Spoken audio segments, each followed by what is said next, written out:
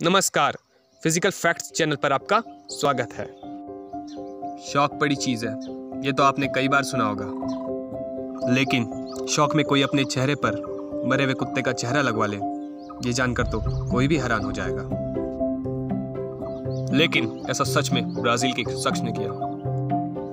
ऐसा इसलिए क्योंकि इस शख्स ने एक कुत्ते के चेहरे को अपने चेहरे पे लगवा लिया, ताकि वह कुत्ते ऐसा दिख सके। पेशे से आर्टिस्ट रॉड्रिगो कुत्तों को बेहद पसंद करते हैं। वह चाहते थे कि लोगों को उनके चेहरे में भी कुत्तों का चेहरा नज़र आए। चेहरा बदलने के बाद रॉड्रिगो की तस्वीरें दुनिया भर में वायरल हो गई और वह डॉगमैन के नाम से मशहूर हो गए।